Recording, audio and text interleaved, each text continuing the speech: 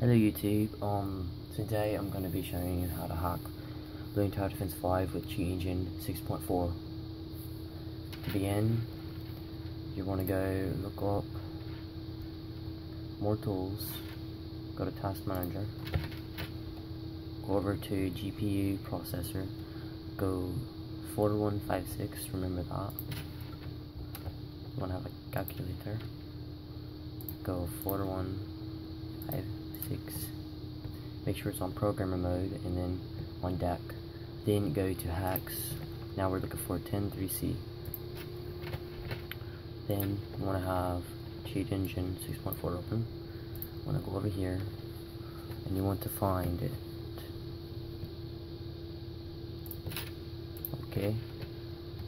Once you find it, click open. Then you want to go to Array Bytes. And here I have I'll put this in the link or description. You want this number. You want to copy it. You want to paste or scan. Once you find this, open this. You want to exit out of that. Not exit out, but close it for the moment. Then I have another number here you're going to have to use. Copy it in, go over to the side, open that, then push paste, then make sure that has an X over it, shut that down, then click play, then it works on solo and co-op, click match,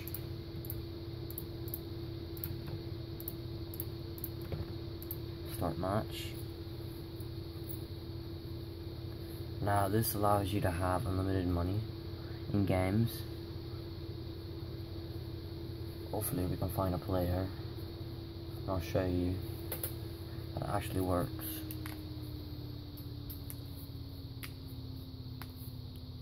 Okay. Now first you, you want to let one round pass before it'll add to your account.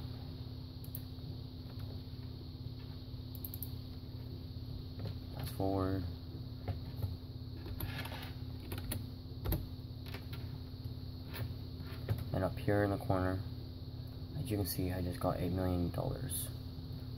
You can give money to your friends.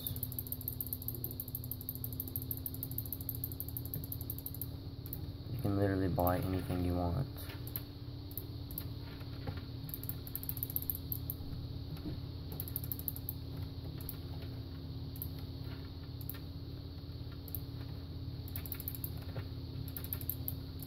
Anyway, that's how to use it, how to activate it on Bloons Tower Defense 5. Have a good day and bye.